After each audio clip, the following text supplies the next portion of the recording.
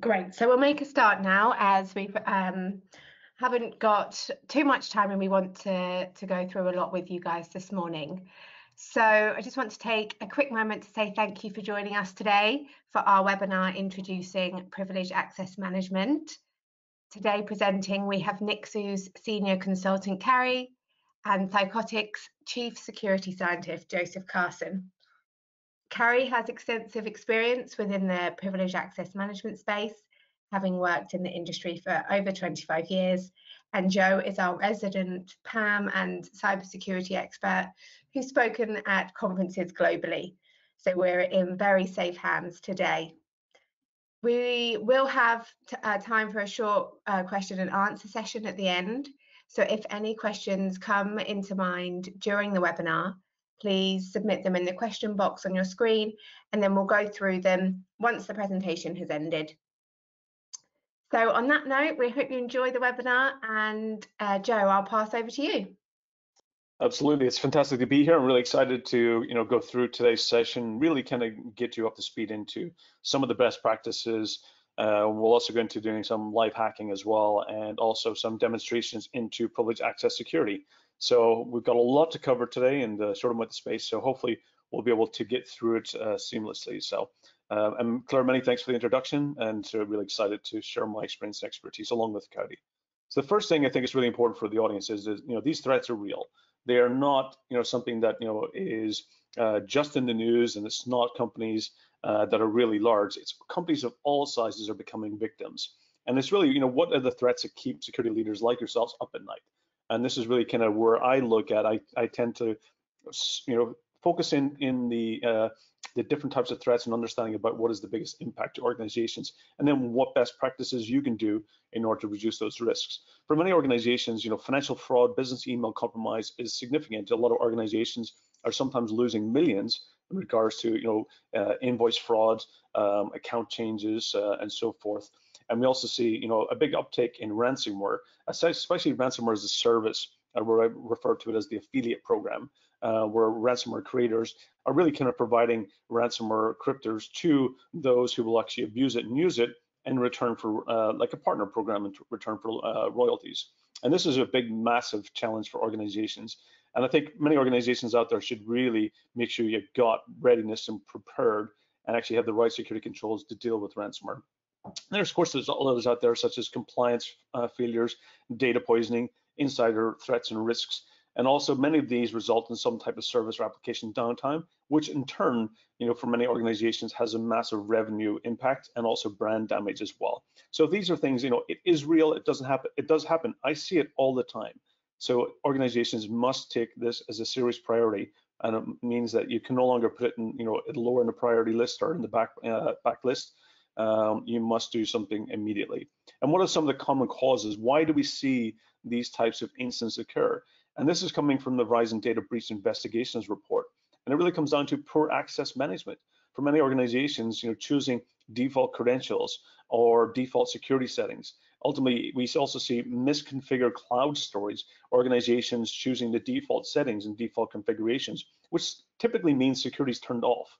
We also see a lot of users overprivileged, meaning that they're either a local administrator or even domain administrator accounts, and basically those are being targeted successfully by attackers. Sharing of credentials, and for many organizations, this is one that I think is, is, a, is a massive one, is passwords continuing to be the only security control. That means the attackers, once they guess or brute force or abuse or gain access to a compromised account, it's only a matter of steps before they carry out malicious activity. And of course, third-party access and remote employees, which is quite significant in the past year, especially with a lot of employees working remotely. And also there's a massive uptake in shadow IT. So what things can we reduce do to reduce these risks? What can you put in place? What things you can do immediately in order to actually become more resilient? So we're going to go through, first of all, some of the, the PAM best practices from Kari, and then towards the end, I will give some of my experience and do a live demonstration. So um, you know, live demonstrations are always uh, interesting, you know, but uh, we hopefully everything goes well today. So Kari, I'm going to pass over to you in order to provide us an update into some of the PAM implementations and best practices. Okay, thanks, Joe. So my name is uh, Kari Vierima. I work for the cybersecurity company Nixu, which is based in Espoo, Finland. And just as a quick intro to our company, we are about uh, a little over 400 uh, security consultants at the moment and, and growing. And we offer mm, pretty much sort of all levels of cybersecurity consultation from the sort of board board level advisory consultation all the way down to penetration testing, uh, deep forensic investigation, um, incident management, and everything in between, including IGA PAM projects where we can do um, sol solution design and deployment um, and also support. But now we're going to focus on, on lessons learned, and this is really based on um, the over 30 implementations that we've done with Secret Server, um, both on-premises and cloud solutions, and also we've done uh, combinations of IGA and PAM, meaning that we've deployed it to the customer environment at the same time and really sort of built very tight integration between the, those two systems so that IGA would be handling, for, for example, the um, user lifecycle and access right uh, management functions. I've divided these lessons learned in sort of three different parts following the sort of typical uh, PAM project uh, phases. So first we'll talk about preparation um, and then sort of uh, solution design and implementation, and finally production, you know, what it means to, to actually run the service. So next slide, please, Joe. Okay, so first phase, um, the so, sort of pre-study preparation phase. Uh, this is really the key part. Um, um, so first of all, make sure that you've really defined and understood your your business requirements thoroughly. You need to understand why you're doing this. What is the problem that you're trying to solve? What kind of risks that you uh, are, are the ones that you've you've identified and try to mitigate? Um, so define your clear goals. Uh, define your roadmap. I'm I'm going to mention roadmap several times here, but it is really long term. It, it's really a key point. Um, then study your privilege landscape. Um, make sure that you've identified um, all of your end users. You've identified the systems, the credentials, the, the applications that need to be protected. Um, uh, identify your stakeholders uh, and, and identify and plan your use cases. So what, what is it that you're trying to do? Um, and then about the stakeholders in particular, don't underestimate uh, the, the workload that is required from the stakeholders um, because they are the really the experts experts in their job. So if you think about the, the end users, get them involved um, as early as possible into the PAM project because you need their expertise, you need their time. They are the ones who can define their use cases, their processes, and confirm that what you've then designed for the PAM solution um, are the right ones. Um, there's a risk that you won't be able to get the benefits that you want if you if you don't get them involved early enough. Okay, next one, Joe. Then we move on to solution um, uh, detailed design and Im implementation. So first of all, lifecycle uh, topics. So uh, define the PAM lifecycle for these multiple different areas. So first of all, end user lifecycle. Understand and define how do you get end users onboarded into the PAM solution itself. Are there any possible modifications that you may have to do along the way during the life cycle? And then most importantly, of course, understand and define the leaver process. How do you remove the access rights uh, from the end user once they are no longer needed. These are very much identity and access management processes. So that's why those two areas are very closely linked. Then also uh, define the, the, the, actual privileged data lifecycle. How do you onboard applications and systems and credentials? Um, and what happens at the end of the lifecycle of those systems? How do you um, disable those uh, credentials from the PAM solution? And then the technology lifecycle itself. How do you handle the um, PAM solution itself in, uh, for example, for upgrades or uh, increasing the scope or enabling additional features and so on. Then it's really important to define um, all of the processes linked to, to the PAM service itself.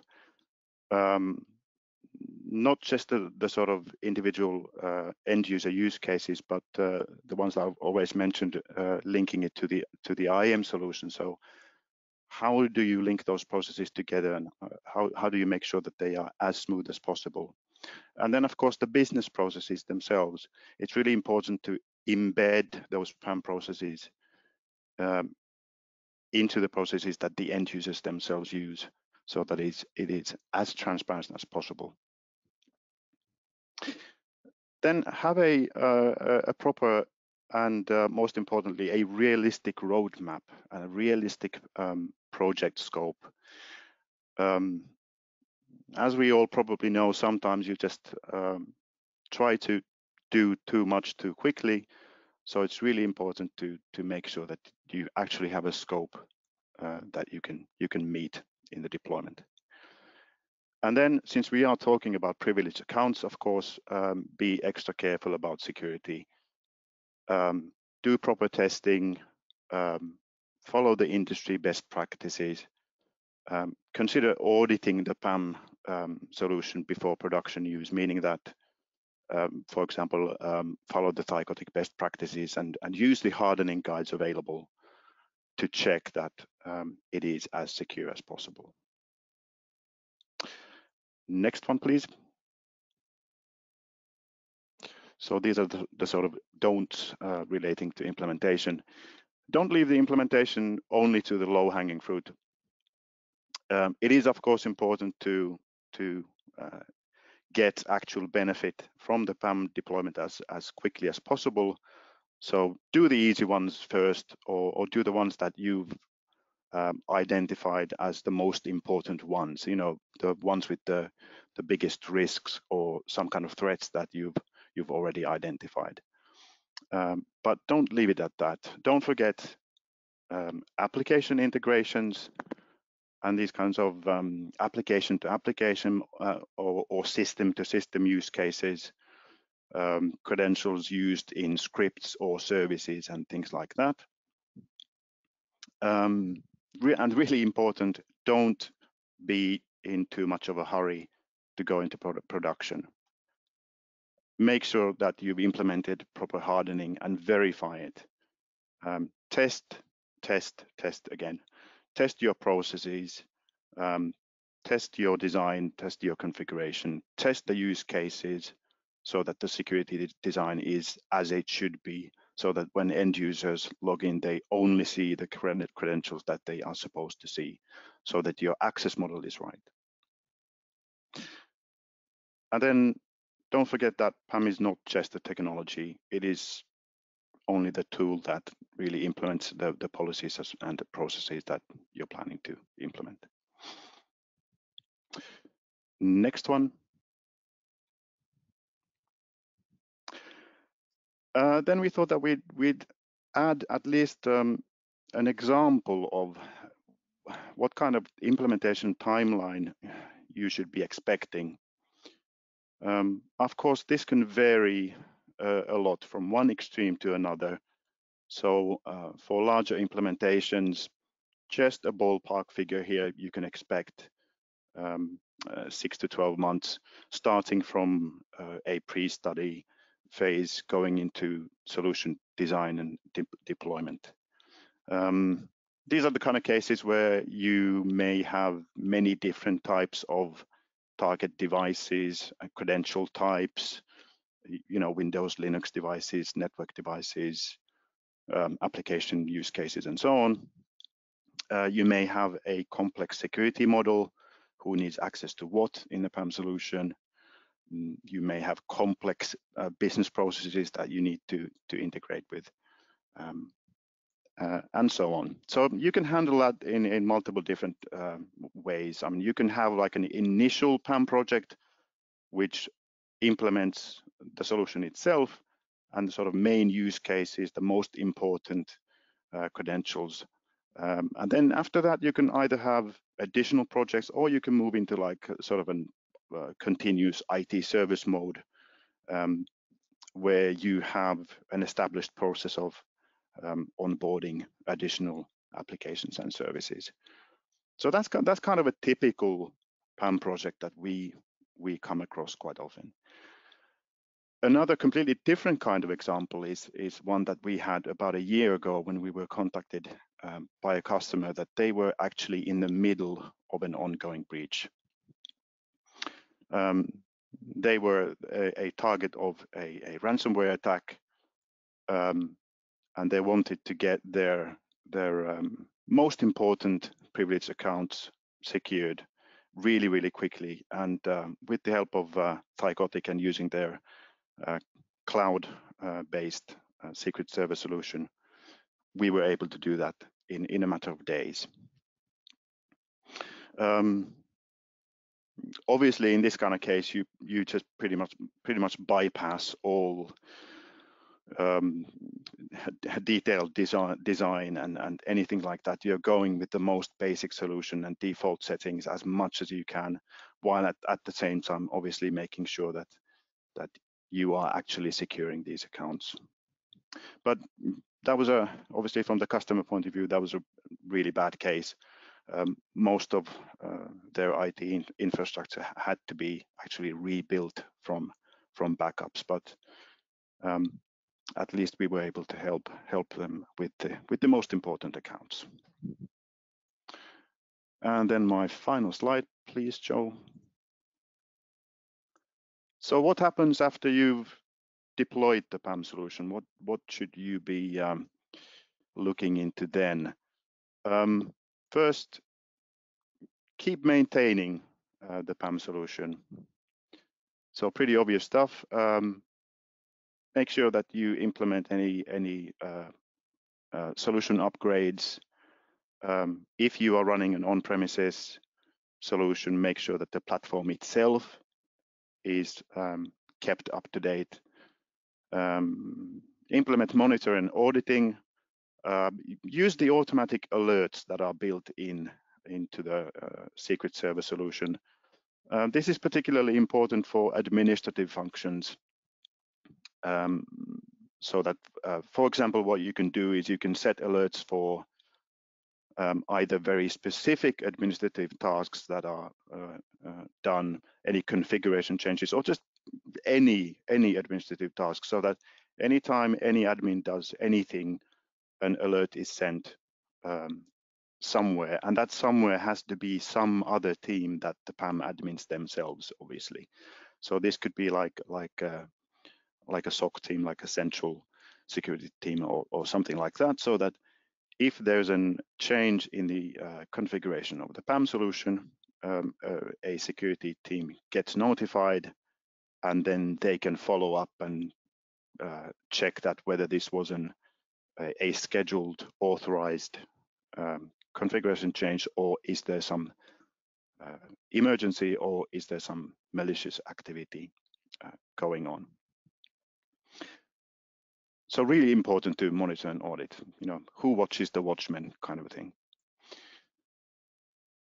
Then make sure that all new credentials are enrolled into pam and that sort of goes with the same point uh, next point there that you know keep pam up to speed with the organization.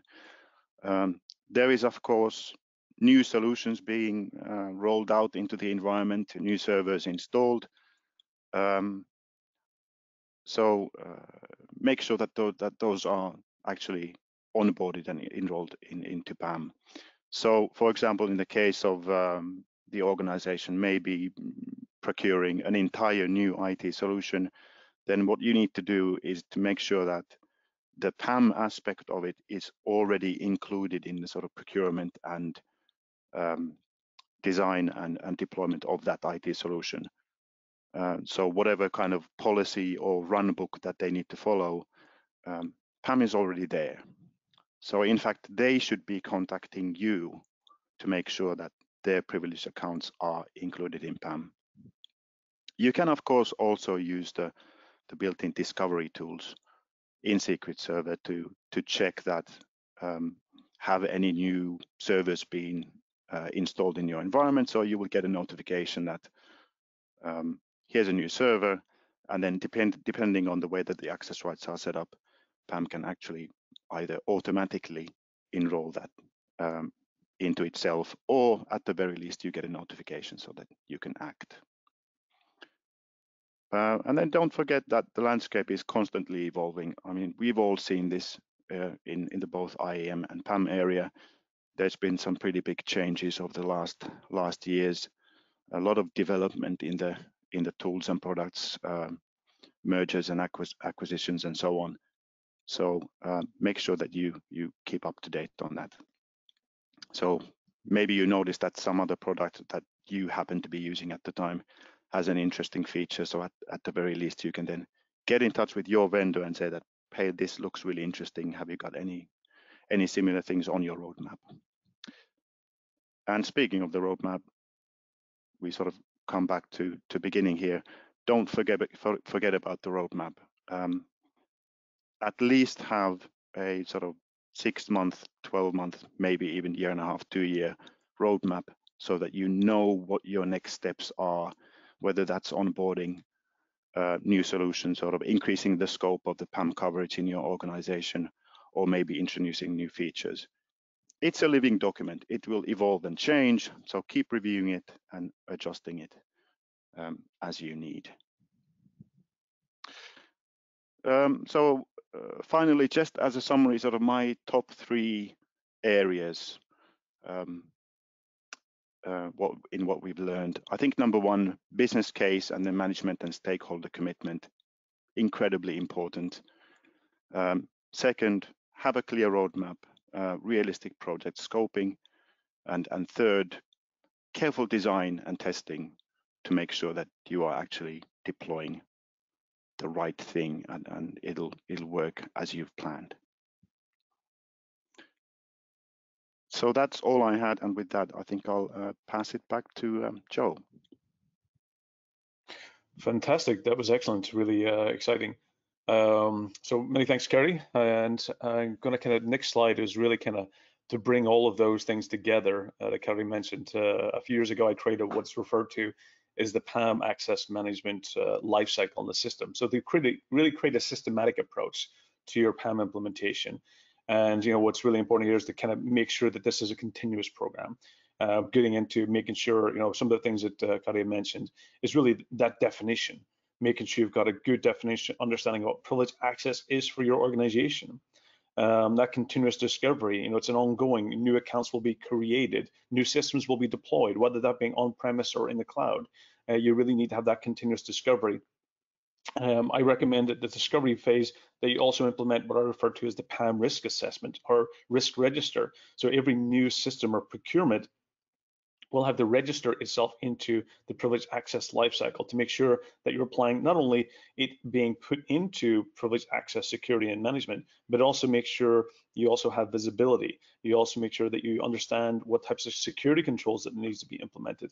And that moves into the next phase, which is about managing and protecting those accounts, making sure you've got a systematic, make consistent, and also in many cases, what you're really doing here is moving passwords into the background um, rather than leaving it for your employees to manage and decide what credentials or what passwords should be uh, strong. Let the system do that for you. Let's move passwords into the background so employees don't have to remember, change, rotate, um, you know, update them, choose them, um, move as much into a systematic approach um, so that you can make sure that you know you do the best practices and actually get the most strongest credentials where possible.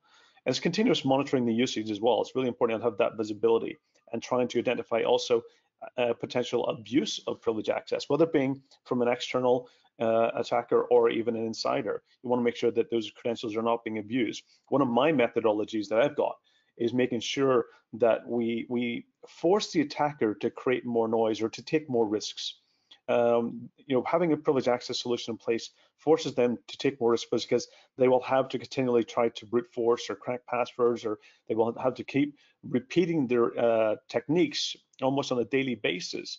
And that means that they take more risks. And the more risks means more visibility, more noise, and it allows you to potentially, you know, detect the attacker before they carry out malicious, really damaging, um, you know, techniques such as even ransomware alerting on that abuse um, and sending it into the system owner, um, and also integrate it into your incident response plan to make sure you've also got this as part of your remediation resiliency process. Some of the things that um, Kari had mentioned earlier, but the, the one that they talked about, the ransomware case, this is really integrating it into that process. So to make sure that you can eradicate the access from attackers, you can provision new accounts that the incident responders can use.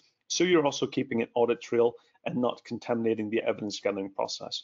And this is not a checkbox approach. This is a, a continuous process, as, as Kari mentioned, it's not just about a technology implementation. This is about making sure you integrate it into your processes and also make sure that your employees are trained and aware and follow the best practices.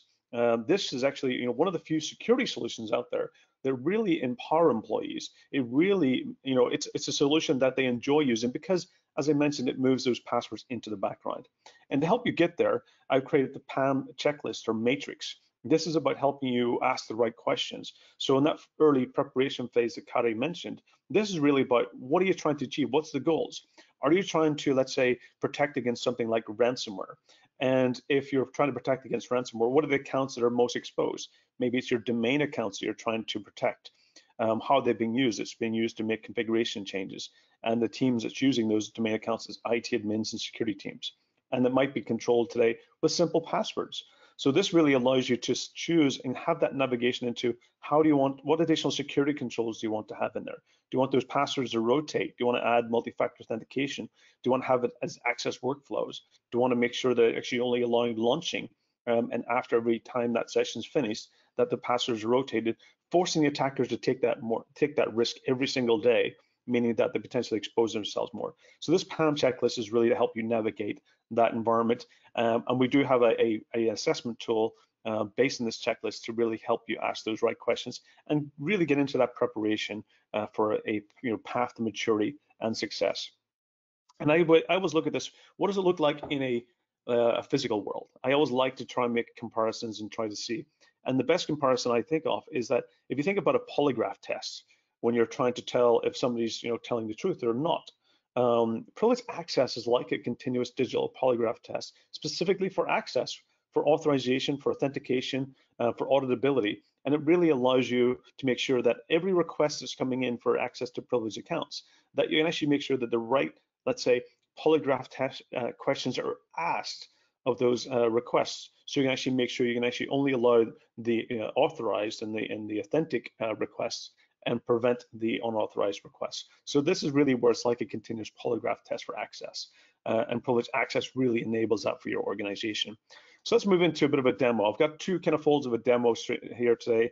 Um, I'll switch into my uh, demonstration machine here. Oh, so let me just log into this. So I'll explain uh, what you're going to see. So the first thing is I've got a couple of different environments. Let me just change the display here so it's not so large. So basically, I've got an attacker machine. So first of all, I'm going to show you what it's like from an attacker perspective and the processes and techniques that they use. And then I'm going to switch over to uh, when actually privileged access is implemented and some of the additional security controls to really, you know, make it difficult for the attacker to be successful, showing both secret server and privilege manager together. So the first machine I've got here is basically I've done an nmap scan of a particular machine. And you can see that this particular machine is vulnerable um, to uh, MS17, uh, which is Eternal Blue. Um, so this machine is vulnerable. And this is the point here is it only takes one machine in the network to be vulnerable. That allows the attacker to use that as a staging machine in order to basically carry out further reconnaissance, enumeration, and gain further access. So I'm going to target this machine. And you can see up here, I've got the target, the uh, attacker machine. I've got a Windows 7 unpatched machine. I've got a fully patched Windows 10 machine and then I've got a domain controller. And I'm just going to basically move from each one of those right through to getting full domain credentials in this environment. So we'll launch up my uh, trusty Metasploit. I'm going to search for the Eternal Blue exploit. And here you can see I'm going to use number three, which is the MS17 underscore 10. Um, so use that. I'm going to set my options. So I'm going to set the R host uh, to my target machine, which is 128 and then I'm going to set my L host, which is my attacker machine, to my Ethernet 1 port. And simply basically find, finding a unpatched machine in the environment is as simple as running an exploit and gaining access to that machine. Now, when I gain access, I've only got a session access. I don't necessarily have, for example, credentials. I've only basically opened up a session. But if I get UID, you can already see that I've got full access to this machine.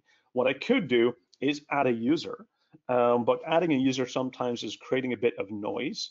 So you prefer to try and be as stealthy as possible. So in most cases, attackers will typically do a hash dump and simply taking this hash uh, from the system, I can then move it to my cracking machine um, and then try to crack that password. So I'm trying to create as little noise in the environment as possible. Um, so I'm not kind of uh, you know notifying or allowing the attacker uh, that the defender's too much visibility. So I've moved that hash over to this patchy text, and then basically I run it against a word list. I'm doing mode uh, 1000, which is basically uh, a Windows uh, NTLM hash. And simply by running, I've already run this before, and it's basically taking this hash and finding the clear text password. So now I've been able to access, and now I know the account in this machine, so I can now access a bit more stealthy than I would have um, if I was creating, a, let's say, a new account. Another common attack is also using responder. So here, basically, I'll launch responder um, on the machine. So if you have access to that vulnerable machine, you put responder on and you basically let it run for a day or two. And simply what it's going to do is listen for network uh, and NetBIOS requests. So simply, basically, it's running here in the background. You just let it run throughout the day. And if I go to my Windows 7 machine, and simply, you know, any request that happens on the network, any things that does a NetBIOS request. So I simply do, you know, backslash backslash sure. By doing that and making that request, simply this machine is now going to, you know, make a request out, and my responder is going to respond to all of those requests, pretending that I have the network share on my machine which I don't. But in that response, what it's going to then do is share the NTLM v2 hash uh, with this machine. So again, I know I have the hash from that Windows 7 machine. Again, I can take it offline and then attempt to crack that uh, password, um, eh, that uh, hash into clear text password. So these are some of the common methods. Another area, of course, with remote workers is basically trying to brute force uh, credentials. So you might have enabled remote access or RDP to the public internet so that employees working remotely can access certain internal applications and systems or data. And simply here using tools like Crowbar, where I've got Crowbar, I'm doing basically a brute force against RDP. I'm targeting this particular machine. I already done enumeration, so I know the user of this machine, and then I'm passing a, a password, uh, a word list, and I'm going to use the number of threads is one. And simply by running this against that uh, victim machine, um, it's only a matter of time before you do guess weak credentials. So this is really how important it is for organizations to make sure that weak passwords and credentials or default credentials are not the most common, you know, in the organization. So getting those credentials, it allows me to move over to now to the Windows 10 machine because I've now have the credentials of that. I've been able to um, brute force. I can log in directly. Now, one of the most common things as well, just to kind of, uh, is that what I'll end up doing is downloading some additional tools. But before I do that, what I tend to do is go and make sure that I disable the security. So one thing we've been able to find here is that this user is actually a local administrator on this system. And what I can end up doing is going and downloading additional tools, such as if I load into my auto tools, what I end up doing is, for example, disabling security. So this will disable all security. Because I'm a local administrator, I've got the rights and ability to do that. I might also launch a find password um, utility, which will basically go and check for all clear text passwords in registry and the file system. I will make uh, run an open RDP, which will open up remote access so I can come directly back. I will also create a backdoor using sticky keys, which allow me to come back in and actually from the login prompt directly gain access to the system itself. So if I move back in, I can also run WinPs, which will allow me then go and look for additional vulnerabilities on this particular machine. And then um, after doing that, what I'll do is run Mimikatz. I will actually enable the registry for the clear text password to be in the registry. I will dump the credentials and then I can log in and take a look and see what credentials have been actually used to access this machine. And ultimately, we scroll down, we'll see that the domain administrator has at some point logged in this machine and that password has not been changed for some time. So I can then basically go and do an RDP session. Now I have the clear text password for the domain admin and log into the domain administrator. And now I can actually have full domain admin access. At this point in time, this is where they'll start looking for the vital assets in the organization and then basically go back to their uh, attacker machine. And here, if I go into my auto tools, this is where I would then go and launch the attack. uh, or download ransomware and launch it. And this will simply basically then deploy ransomware to all the machines in the environment. Um, and because I've got a domain admin, that allows me to create the biggest impact where possible. So this is really the you know real world attacker techniques. So let me move into the the other side where we actually have privileged access running. So we've got secret server here. Um, I'm going to log in. This logged me out because of inactivity. So here basically is where we're logging into secret server, and this allows you now to systematically manage all the privileged accounts in the environment. And I've got role and scope enabled here. So as I log in, it only allows me to see the accounts that I actually have access to and visibility. And I've created by region. I've also created by cloud. Uh, oops, if I log in, just one second. There is auto login, and I'm definitely as much security controls and hardening uh, that Kari had mentioned, you want to also make sure you, you protect this as much as possible. So also have things like PTO. I can put, let's say, my accounts in here when I go on PTO, and anyone who basically has access to this, my peers, would then be able to go and actually access those accounts while they're in these buckets. Meaning that when I, you know, return from vacation, I can actually disable their access so they have, don't have continuous access. I can also look at endpoints and take a look at some of the desktops here. You can see I've got two secrets. I've got a, administrator for this protect machine, and then I've also got a standard account for the uh, protect machine. Simply, basically, I can go and check this account. I can take a look here. I can check out the credentials. I can change the security controls. I can do a remote RDP launch directly into the system. I can also run an audit and see basically what changes. I can see somebody launched a desktop. Uh, somebody took a look at the password, and this might be an indication, let's rotate this password because somebody has looked and viewed and has knowledge of it. So really giving you full visibility and understanding about all the activities and accountability of privileged access in the environment. You also have dependencies. So if this is dependent something like, let's say, a backup solution or exchange server or a database that might have dependencies across the network. So this allows you to show those and discover them. We also have sharing capabilities, meaning I can delegate responsibility or accountability again to my peers when I go on vacation or for basically periods that they need to, maybe the support team need to access and troubleshoot a particular system.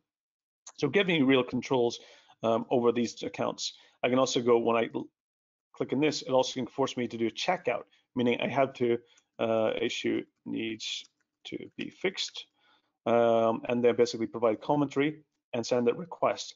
I can also have approval workflows, meaning that these requests can go and require checkout or require my uh, manager or boss uh, to approve it or the system owner. And you can see that I get notifications that every time something, you know, uh, somebody's viewed the secret um, and somebody's uh, checked it out, somebody's done an RDP session. So you can actually have visibility and granular control into all the activities of these accounts.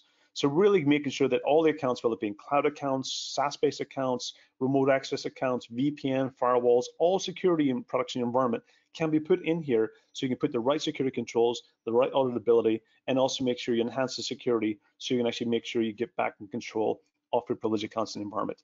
And not only is it about the privileged access, it's also about application elevation as well.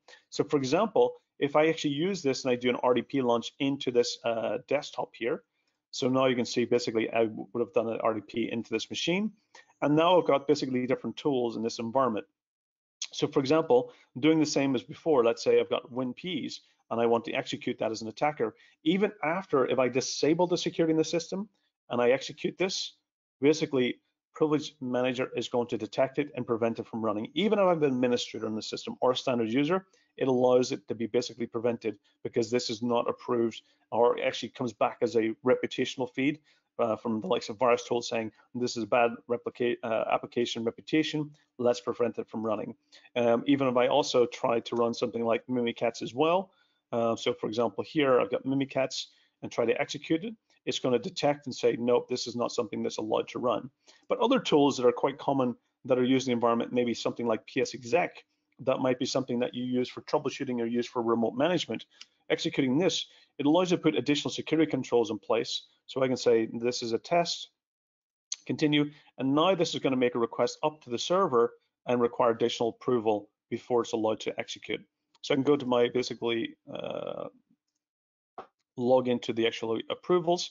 I can see this request coming in. And of course, we also have a mobile app that allows you to manage this and approve it on a mobile. And this is something you, might want to allow to run. So therefore, I can approve it. I can also automate this if it's integrated into, for example, a help desk solution. And then you can go back here, do a quick refresh, continue, and now it runs. And it's also the same with the likes of Process Hacker. You know, these tools, you know, can be used for troubleshooting as well. If I execute that and run it, um, it will actually make the request up the server. I can make a refresh and see this pending request, and also allows you to go in and take a look at the executable, find out more details, and also check the reputation on the VirusTotal page. And by clicking in that, it will take you to VirusTotal, and you can see the reputation of those applications as well.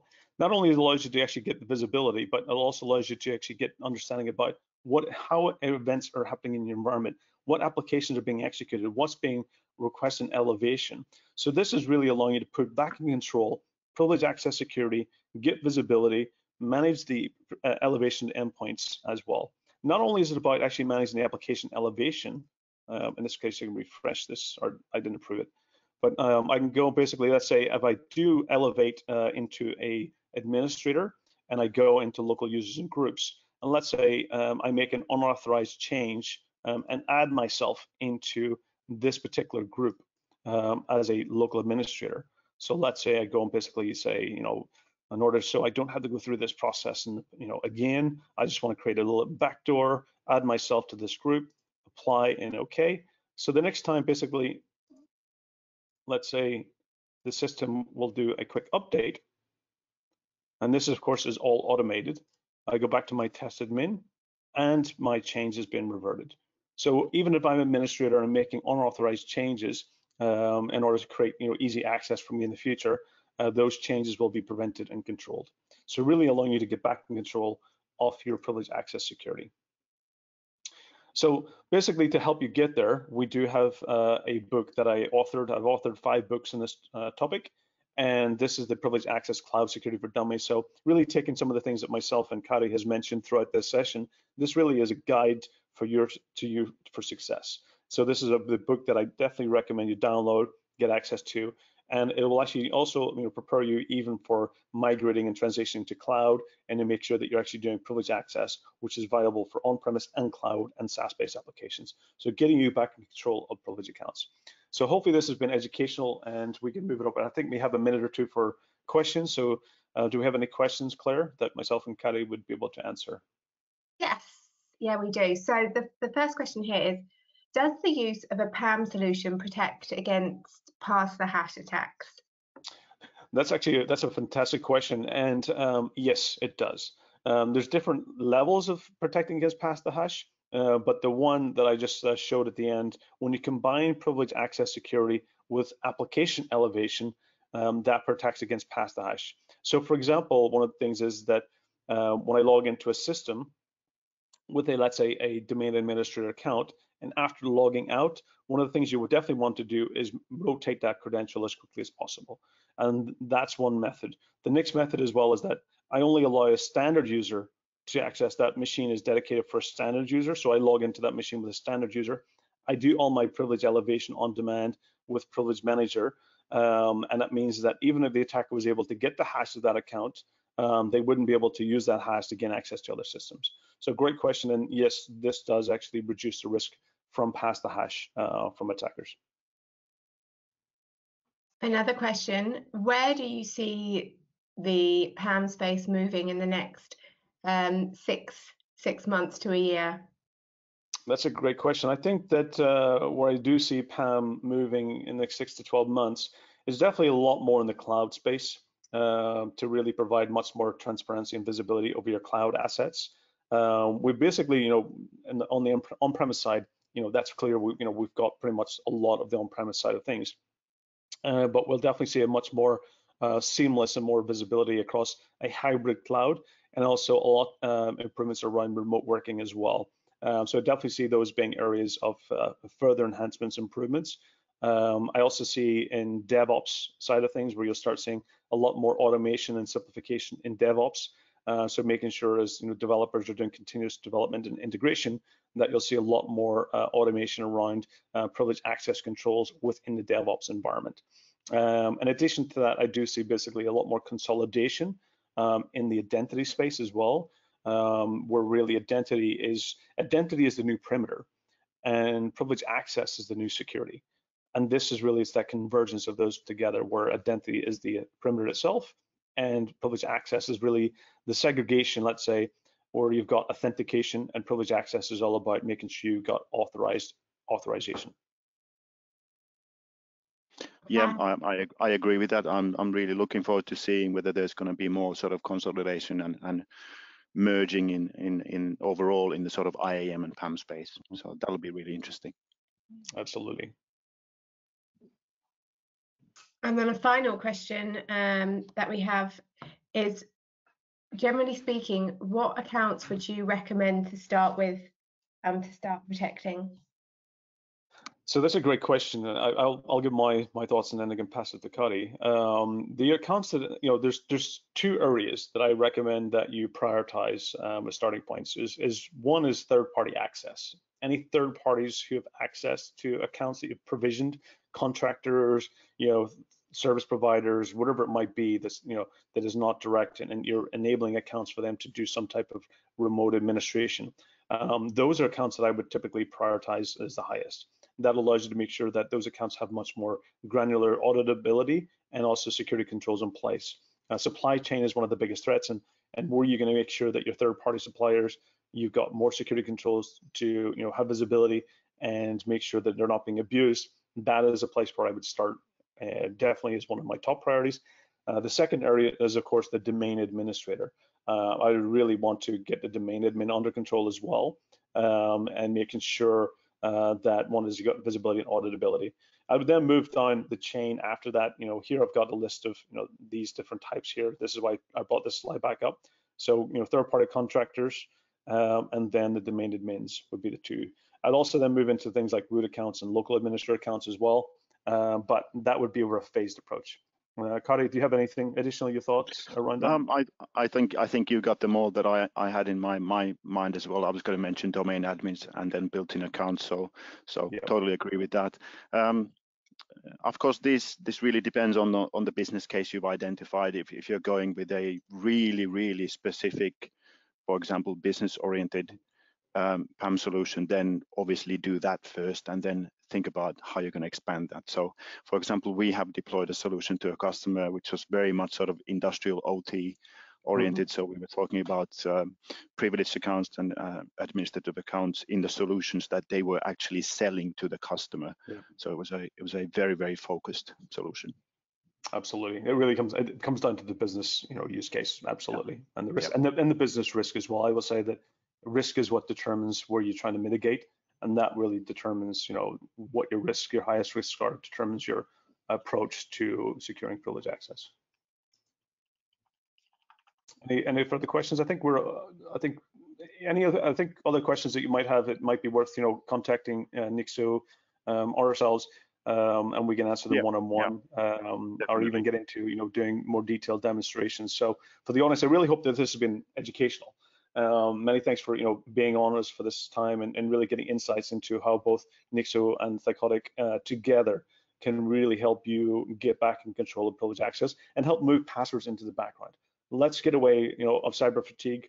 Let's empower employees and let's really get into much more automation, much more visibility. Um, so you know reach out and, and we're, we're here as your guide um, and you know ears uh, in order to help provide you know best practices and advice to get you to where you need to go. Um, so again, it's been a pleasure and uh, many thanks for everyone and uh, look forward to seeing you on future uh, demonstrations and webinars and talks, hopefully in person sometime in the future. So again, many thanks for everyone. Yes, thanks everyone for joining. As, as Joe mentioned, would love to, to carry on the discussion on a one-to-one -one basis. So please do reach out if you have um, any other questions. Thanks again for joining and, and we'll see you again.